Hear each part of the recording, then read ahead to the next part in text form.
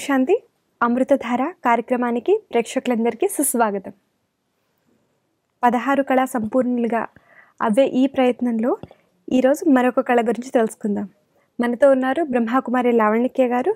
వర్క్మన్ స్టూడియోలో స్వాగతం చేద్దాం. అక్కయ్య మీకు మా స్టూడియోలో సుస్వాగతం. ఓం శాంతి. ఓం శాంతి. అక్కయ్య ఏదైనా చిన్న ఇంటి దగ్గర నుంచి ఒక సంస్థ నడిపించేంత వరకు అది స్కూల్ అవ్వనివ్వండి కాలేజ్ అవ్వనివ్వండి లేకపోతే ఏదైనా స్పిరిచువల్ ఆర్గనైజేషన్ ఎటువంటి ఆర్గనైజేషన్ అయినా సరే దానికి ఒక అడ్మినిస్ట్రేషన్ అవసరం. అయితే ప్రాపర్ అడ్మినిస్ట్రేషన్ అంటే అడ్మినిస్ట్రేషన్ చేసే ఈ కళ దీనికి దీనికి స్పెషల్ క్వాలిటీస్ ఏమైనా కావాలా? తప్పనిసరిగా అవసరము. ఎందుకంటే విధి నిర్వహణ అనేది చాలా గొప్ప కళ. విధి నిర్వహణలో ఒకటి అంకిత భావం మనలో ఉండాలి. రెండోది మనలో కొన్ని లక్షణాలు. అవి మన విధి నిర్వహణలో మన తోటి వారందరిపైన కూడా ప్రభావాన్ని చూపించే విధంగా అందరూ మనల్ని చూస్తూ ఉంటారు అందరూ మనల్ని గమనిస్తూ ఉంటారు. ఒక అధికారి స్థానంలో ఒక హోదాలో ఉన్నటువంటి వారు అంటే వారిపైన తప్పనిసరిగా అందరి యొక్క. దృష్టి ఉంటుంది. ఎందుకంటే వాళ్ళందరికీ డిసిప్లిన్ నేర్పించే పొజిషన్లో ఉన్నారు కాబట్టి. మరి వారే ఫాలో అవుతూ ఉంటారు కూడా. వారి. క్రింద ఉన్న వాళ్ళైనా తోడున్న వారైనా అందరూ వారిని అనుకరిస్తూ ఉంటారు కూడా. కావున కొన్ని మంచి లక్షణాలు వారిలో ఉండాలి. మొదటిది ఏంటి అంటే ఎవరైనా ఒక అధికారి స్థానంలో ఒక హోదాలో ఉన్నప్పుడు ఒక అడ్మినిస్ట్రేటర్గా వారు వారి యొక్క విధి నిర్వహణలో మొదట వారికి కావాల్సింది ఏంటి అంటే వారి యొక్క ఎమోషన్స్ని బ్యాలెన్స్ చేసుకోవడం. ఎందుకంటే చాలా వరకు మనం ఎక్కువ అంటే ఎవరినైనా ఒక పొజిషన్లో ఉన్న వాళ్ళని చూస్తే వాళ్ళకి ఇంకా ఫ్రీడమ్ ఉంది. ఏదంటే అది వాళ్ళ అవుట్ బస్ట్ అయిపోవచ్చు. ఎవరి మీదైనా ఏమైనా అనేసేయచ్చు. కోపం వచ్చినా వ్యక్తపరచవచ్చు. ఏదైనా చేయొచ్చు అని అనుకుంటాం. అవును. అంటే దాన్ని తక్కువ స్థాయిలో ఉన్నవారు కానీ తన తోడున్నటువంటి వారు కానీ చాలా ఇబ్బంది పడుతూ ఉంటారు. ఆ రకమైనటువంటి నేచర్ బిహేవియర్తో. అవును. కావున వారి యొక్క ఇంటర్నల్ ఎమోషన్స్ని బ్యాలెన్స్ చేసుకోవడము తప్పనిసరిగా రావాలి ఒక అడ్మినిస్ట్రేటర్ యొక్క గుడ్ క్వాలిటీ ఇది ఎందుకంటే ఎంతైతే పనిలో పనికి సంబంధించినటువంటి విషయాల్లో సమయాన్ని కేటాయిస్తూ ఉంటారో అంతే ఇంటర్నల్గా కూడా వారు కొంత సమయాన్ని తీయాల్సిన అవసరం ఉంటుంది. అందుకే అంటారు ముందు అందరినీ మేనేజ్ చేసే ముందు సెల్ఫ్ని మేనేజ్ చేసుకోవాలి. అంటే అడ్మినిస్ట్రేషన్లో మేనేజ్మెంట్ అనేటువంటిది ఎక్కువగా వస్తుంది. అన్నిటిని మేనేజ్ చేయడం. దీనిలో ఫస్ట్ కాన్సన్ట్రేషన్ సెల్ఫ్ని మేనేజ్ చేసుకోవడం చాలా అవసరం. ఓకే. ఎటువంటి మేనేజ్మెంట్ అవసరం సెల్ఫ్కి? అంటే మనం మన యొక్క ఇంటర్నల్ ఎమోషన్స్ పైన మన థాట్స్ పైన మన వర్డ్స్ పైన అన్నిటిపైన కొంత గమనిక ఉంచాలి. కొంత శ్రద్ధ పెట్టాలి. లోపల థింక్ బిఫోర్ యూ థింక్ అంటారు. అంటే ఒకసారి ఆలోచించే ముందు కూడా మరోసారి ఆలోచించండి. ఏదైనా మనం చేసినటువంటి కర్మ కావచ్చు మన యాక్షన్ కావచ్చు అది ఎంతో మంది పైన ప్రభావాన్ని చూపించే స్థితిలో ఉంది కాబట్టి తప్పనిసరిగా అటెన్షన్ ఇవ్వాలి అబ్రహం లింకన్ చాలా గొప్ప అడ్మినిస్ట్రేటర్గా పేరు ప్రఖ్యాతి. చెందారు. ఆయన ఒకసారి అన్నారు ఏదైనా ఒక కార్యం చేయడానికి ఫర్ ఎగ్జాంపుల్ ఒక చెట్టుని నరకడానికి ఏడ ఏడు గంటలో లేకపోతే ఎనిమిది గంటలో పడితే దాంట్లో నేను ఆరు గంటలు ఆ చెట్టుని నరికేటువంటి గొడ్డలిని సానపట్టడానికే ఉపయోగిస్తాను అన్నాడు. అంటే గొడ్డలిని ఆరు గంటలు సానపడితే రెండు గంటల్లో దాన్ని చాలా తొందరగా దాని పని అయిపోతుంది. అంటే మనము ఎక్కువగా మనకి పనులు ఉండొచ్చు. బాహ్యంగా మనము fifteen hours sixteen hours work చేస్తూ ఉండొచ్చు. ఒక్కోసారి ఎయిటీన్ అవర్స్ కూడా వర్క్ చేస్తూ ఉంటారు. ఎంత ఎక్కువగా బాహ్యంగా మనం పని చేసేది ఉంటే అంత ఎక్కువగా ఇంటర్నల్గా కూడా మనం వర్క్ చేయాలి అంటే. ఇంటర్నల్గా ఎక్కువ వర్క్ చేసినప్పుడు ఎక్స్టర్నల్గా చేసేది బాహ్యపరంగా చేసేటువంటి పనుల్లో ఒత్తిడి ఉండదు. బాహ్యపరంగా చేసేటువంటి పనులన్నీ సునాయాసంగా జరిగిపోతాయి.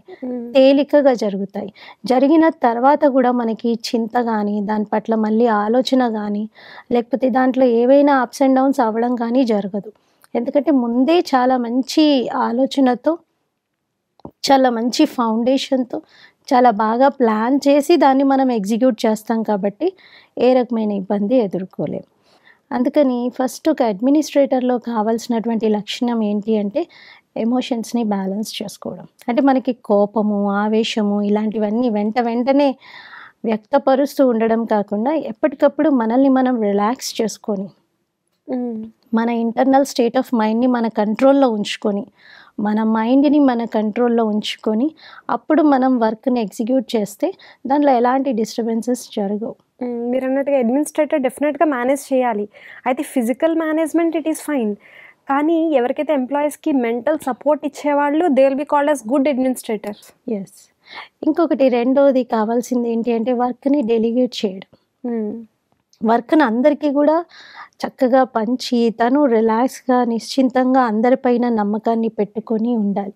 వర్క్ డెలిగేట్ చేసిన తర్వాత కూడా వీళ్ళు చేస్తున్నారో లేదో, వీళ్ళు చేస్తారో లేదో టైం వరకు అని మనం ఒక యాంగ్జైటీతో ఉండడమో, లేకపోతే వాళ్ళపైన స్ట్రెస్‌ని క్రియేట్ చేయడమో చేయకుండా వారిపైన విశ్వాసంతో, ఓర్పు వహించి మనం ఉన్నట్లయితే తప్పకుండా ఎవరికైతే మనం ఆ వర్క్‌ని అప్పగించామో. వాళ్ళు వాళ్ళ యొక్క పనితీరుని బట్టి తప్పకుండా దాన్ని పూర్తి చేస్తారు. ఒకవేళ మనం అనుకున్న రీతిలో వారు చెయ్యకపోయినా, వారు చేసినటువంటి పనికి మనం రెస్పెక్ట్‌ని ఇస్తూ, ఒకవేళ మనం కరెక్షన్ ఇచ్చామనుకోండి, మీరు ఈ పని చేశారు బాగానే చేశారు. కానీ ఇంతసేపు చేయకూడదు ఒకటే పనిని. మీరు దీన్ని ఇంకా ఇంత తొందరగా చేస్తే ఈ స్థానంలో మీరు. హ్మ్. ఎందుకంటే జస్ట్ బర్స్ట్ అయిపోయి మనము ఏంటి ఇప్పుడా ఇంతసేపా చేయడము, ఇంత లేటా అని ఎలా అనడం వలన కూడా ప్రయోజనం ఏమీ ఉండదు. దాంతో వాళ్ళకి మన పట్ల భయం ఏర్పడుతుంది. నెక్స్ట్ అప్పగించినటువంటి పనిని కూడా ఆ భయంలోనే త్వరగా చేయకపోతే. మళ్ళీ నన్నేమైనా అంటారు. త్వరగా దెబ్బతింటుంది. అందుకని తప్పనిసరిగా మనం వారికి కొంత అష్యూరెన్స్‌ని ఇస్తూ వారిపైన విశ్వాసం, నమ్మకంతో ఉంటూ వారిని ఇవ్వాలి. అప్రిషియేట్ చేస్తూ మనము ముందుకు నడిపించాల్సిన అవసరం ఉంది. అంటే డెలిగేట్ చేసిన తర్వాత కూడా ట్రస్ట్‌ని ఏర్పరచుకోవడం చాలా అవసరం.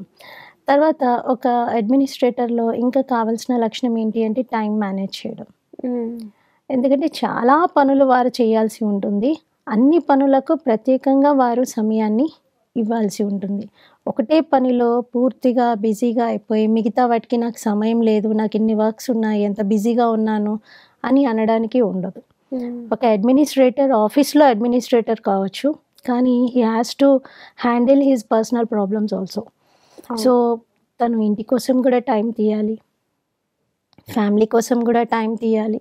సెల్ఫ్ హెల్త్‌ని కూడా సరిగ్గా చూసుకోవాలి.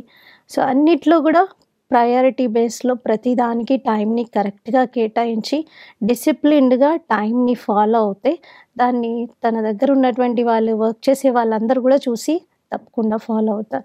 సో, ఇది అడ్మినిస్ట్రేటర్ యొక్క ఒక బెస్ట్ క్వాలిటీగా మనము చెప్పుకోవచ్చు. ఒక అడ్మినిస్ట్రేటర్‌గా ఉంటూ ఎంప్లాయీస్‌తో మాట్లాడడము అంటే వాళ్ళ ప్రాబ్లమ్స్ అండర్‌స్టాండ్ చేసుకోవడం, ఒక ఎమోషనల్ సపోర్ట్ ఇవ్వడం కూడా చాలా అవసరం కదా! కమ్యూనికేషన్. కమ్యూనికేషన్ అనేది కూడా ఒక గొప్ప లక్షణము. ఒక. గుడ్ అడ్మినిస్ట్రేటర్ చాలా బాగా కమ్యూనికేట్ చేయగలగాలి. ఈవెన్ ఏదైనా వర్క్ డెలిగేట్ చేసినా లేదా తన క్రింద ఉన్నటువంటి ఆఫీసర్స్ అయినా, ఇంకా తన తోడు వర్క్ చేసే వాళ్ళందరితో అయినా తన యొక్క కమ్యూనికేషన్ కరెక్ట్‌గా ఉండాలి. ఎంత అందరిని పలకరించగలిగి, అందరితో మాట్లాడగలిగేటువంటి గుణం ఉంటుందో అంత అందరూ దగ్గరవుతారు. అందరిలో ఒక మంచి ఫీలింగ్ ఏర్పడుతుంది.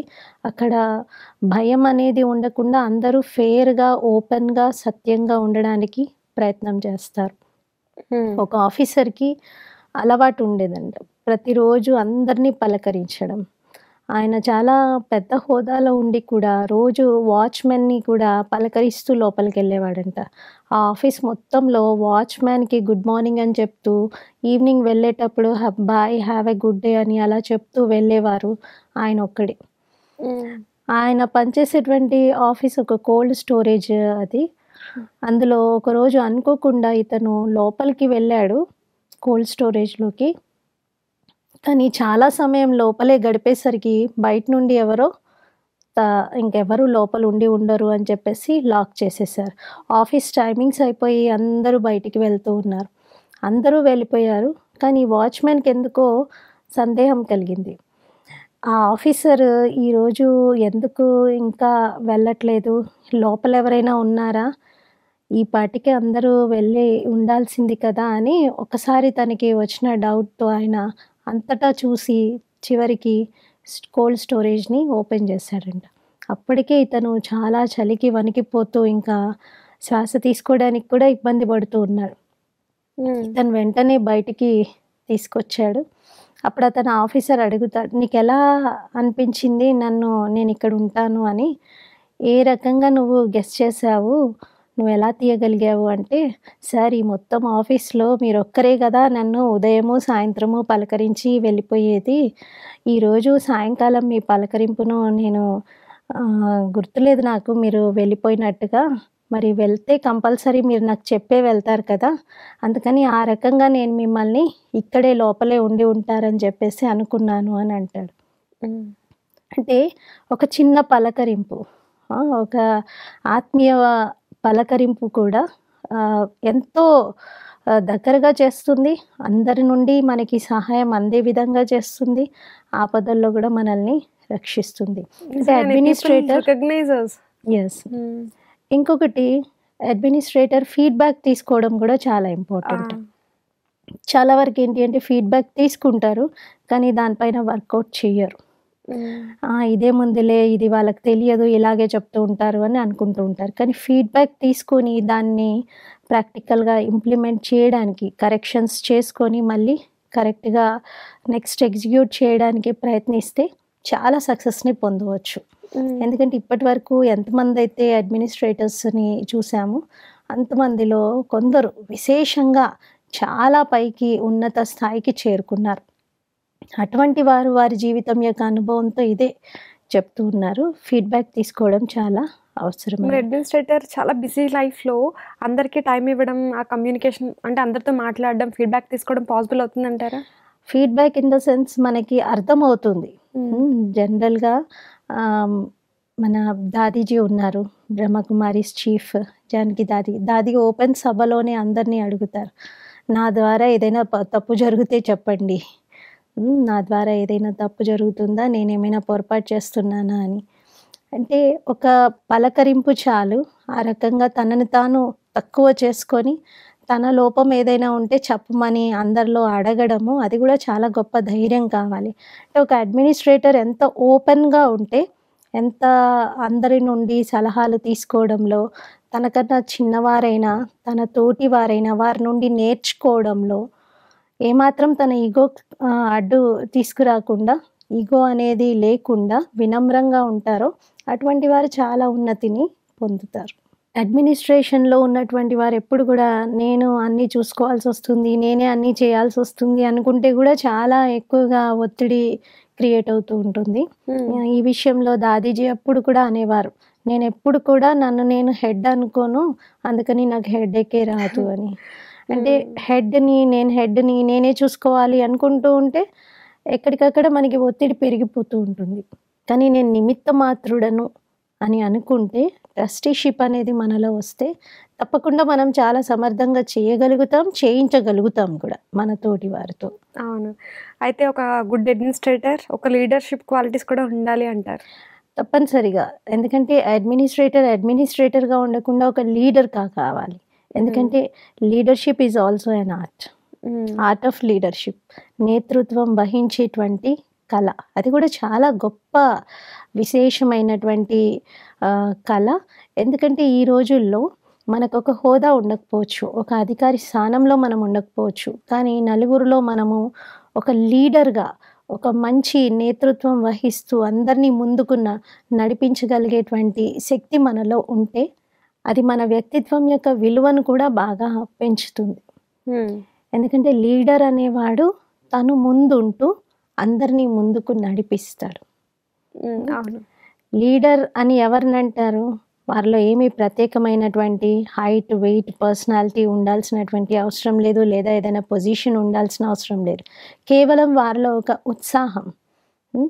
అలసట లేకుండా పని చేయగలిగేటువంటి సామర్థ్యం. అందరినీ కలుపుకుంటూ టీమ్ స్పిరిట్‌తో ప్రతి ఒక్కరిని చూసుకుంటూ ప్రతి ఒక్కరి సమస్యలకు సమాధానం ఇస్తూ చక్కటి సత్వరమైనటువంటి నిర్ణయాలను తీసుకుంటూ అడుగులు ముందుకు వేసేటువంటి వ్యక్తిత్వం కావాలి. అటువంటి వ్యక్తిత్వంని లీడర్ అంటారు.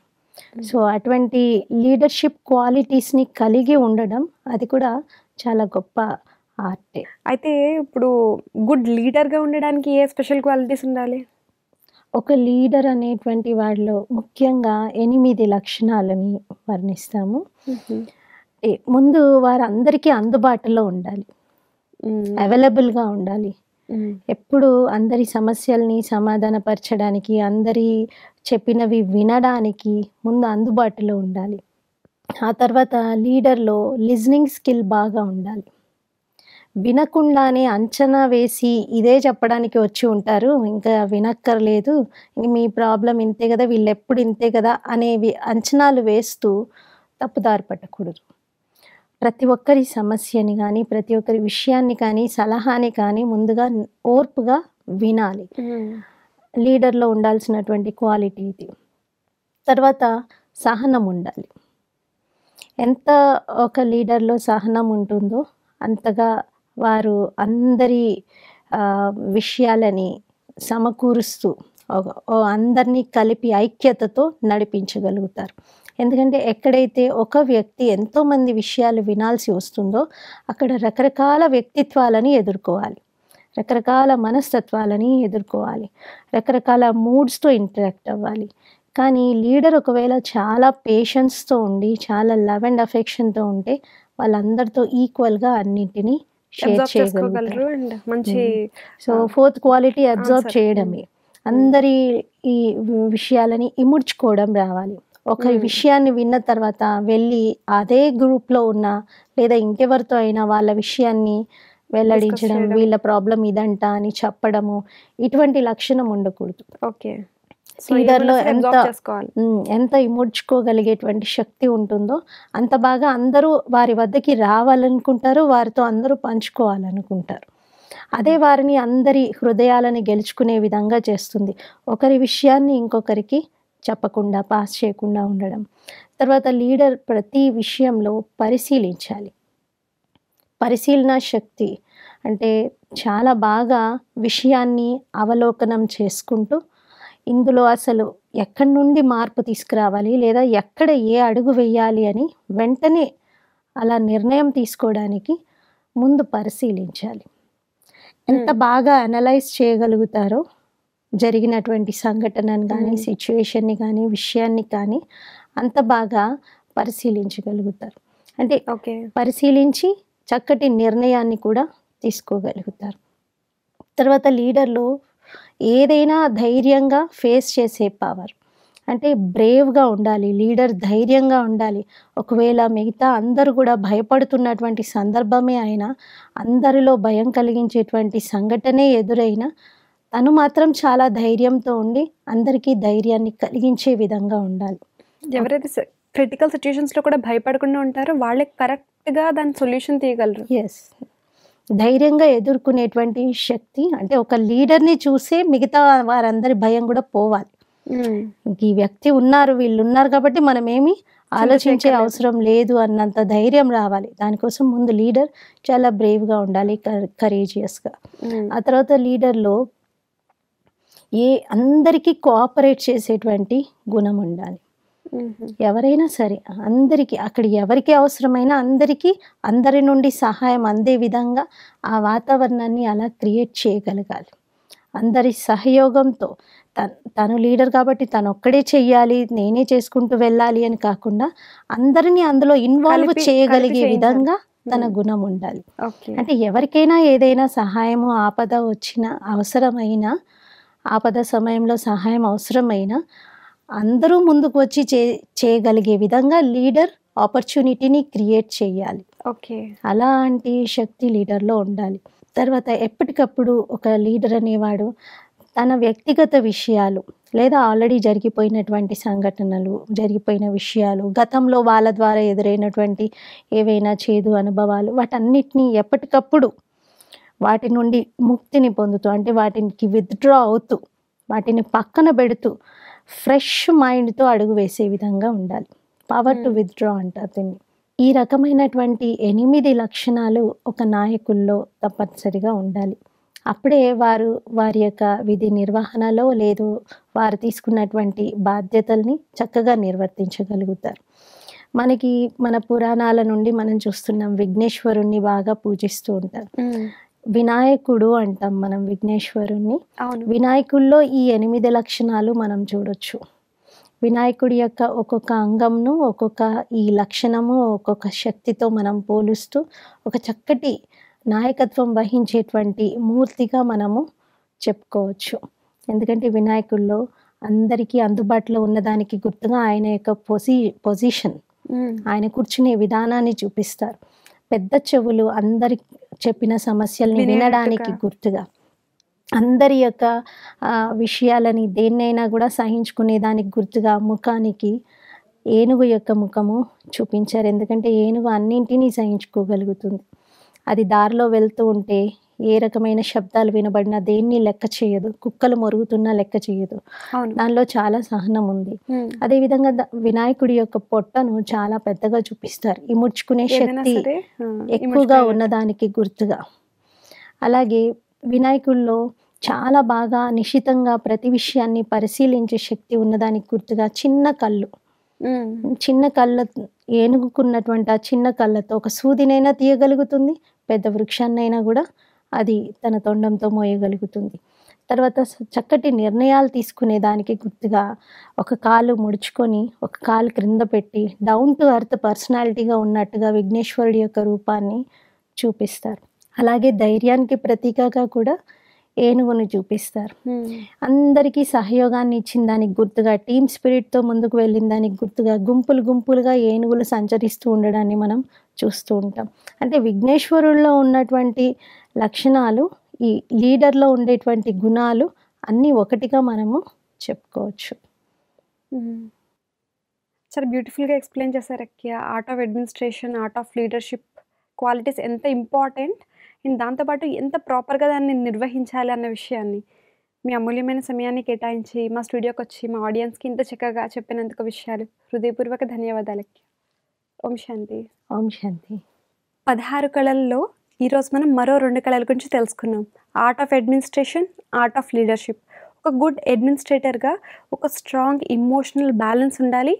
And time management discipline communication skills ఉండాలని తెలుసుకున్నాం అలాగే గుడ్ లీడర్గా విఘ్నేశ్వరన్ రూపాన్ని ఎగ్జాంపుల్గా తీసుకుని ఎయిట్ క్వాలిటీస్ ఉండాలి అని తెలుసుకున్నాం గుడ్ లిజనింగ్ దగ్గర నుంచి డౌన్ టు ఎర్త్ ఉండాలి. అండ్ మనం ఏదైతే చేస్తామో చెప్పే ముందు ఫస్ట్ మనం చేసి చూపిస్తే డెఫినెట్గా ఒక గుడ్ లీడర్గా పేరు పొందొచ్చు. అయితే మనమే లీడర్స్ ఆఫ్ అవర్ లైఫ్. అయితే మీరు కూడా ఈ విషయాన్ని అర్థం చేసుకున్నారని మీరు డిసిప్లైన్లో ఉంటూ అందరికీ మంచి వేని చూపిస్తారని ఆశిస్తూ మరొక ఎపిసోడ్లో మరికొన్ని కళలతో మీ ముందుంటాం. అప్పటి వరకు సెలవు తీసుకుంటున్నాం. ఓం శాంతి.